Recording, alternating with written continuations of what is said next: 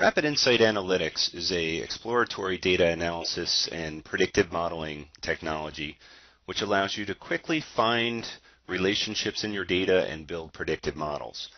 Any interesting findings that you come up with can be quickly put into a PowerPoint presentation or into a report. Uh, and predictive models can be built very quickly and automatically. I'm going to start out by opening up a data set. I've got a historical data set from a uh, mailing that was sent out to a, uh, a sample of our customer database. Um, so I've got 17,828 records in this data set and 33 variables. I'm going to go ahead and load that data and then I'm going to create an analysis on this data set. Here we start out on the first tab. Uh, we've got all the variables that we've read in. Uh, as you can see here, we've got a lot of demographic information on our customers. Uh, and we've also got a response variable, which tells us whether or not the customer responded or made a purchase from the mailing. Over here on the left-hand side is a series of tabs. Uh, each one of these tabs represents a different type of analysis that can be done on the data. And it kind of flows in the order in which a analyst would uh, go through an analysis, especially when the end result is to build a predictive model.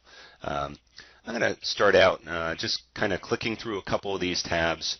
The variable statistics tab lets us uh, calculate automatically any of the statistics for the numeric variables in the data set. So uh, for every variable in the data set, uh, we've got the mean or the average, the standard deviation, uh, the minimum and max value, the number of missings. Uh, this is just a good place to start out to get kind of a sanity check of our data. Um, if uh, any min and max values look uh, different from what we would expect, we'd probably want to go and check that data a little further. We can also analyze the data or quickly scroll through all of these records in the data set. Uh, the univariate tab lets us view the distribution of any variable within the data set on its own. I'm going to go back to the first tab and I'm going to choose a variable as my y variable. So I've got this responder variable. Again, it's just a 0, 1 variable telling us whether or not the customer uh, responded or made a purchase uh, to this particular mailing.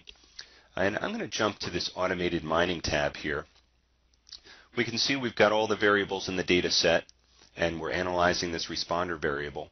When I click on this variable that, or this uh, button that says auto mine it, it's going to go through all these variables and it's going to quickly determine which ones are statistically related to the response variable.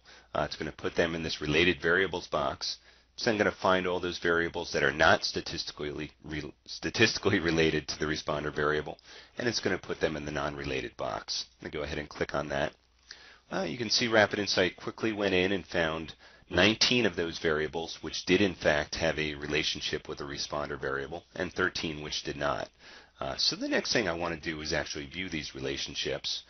Um, and now we can see in this drop-down uh, list here we've got all those variables that were found to be statistically related with the response variable.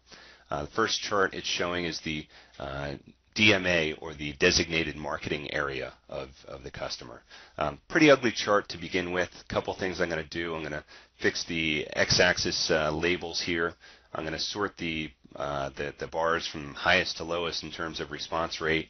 And then I'm going to get rid of any DMAs that we've got in this data set that had less than 100 customers in them. so now I can see uh, each DMA, uh, and I can see in red uh, any category that was found to be statistic statistically different from the rest.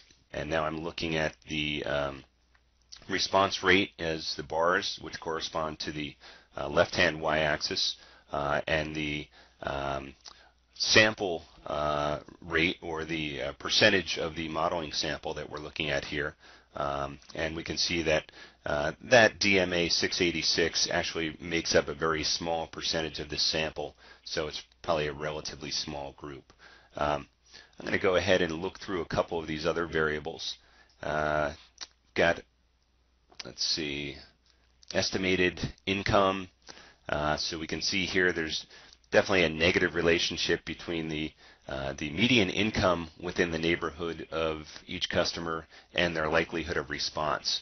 we can see uh, we've got the response rate on the y-axis, we've got the estimated median income on the x-axis, and we can see there's a, uh, very uh, uh, good-looking line here or a linear relationship. We can actually make this more granular if we want. Um, and we can click through any of these variables. Here we have uh, the homeowner variable, so we can see uh, the fact that someone is a no known homeowner. Um, those known homeowners responded at uh, much lower rates than those that are not to be home are not known to be homeowners. Um, the uh, homeowners responded at a rate of 12.6%.